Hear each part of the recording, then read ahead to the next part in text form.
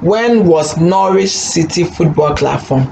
Yeah, so when was Norwich City Football Club established?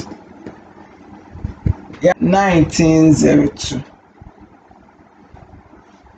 Norwich City Football Club was established in the year 1902. The actual date in which the actual date on which or in which it was established.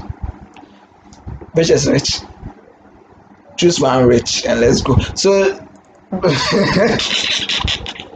so the actual date in which it was established was 17th June 1902. 17th June. So 17th June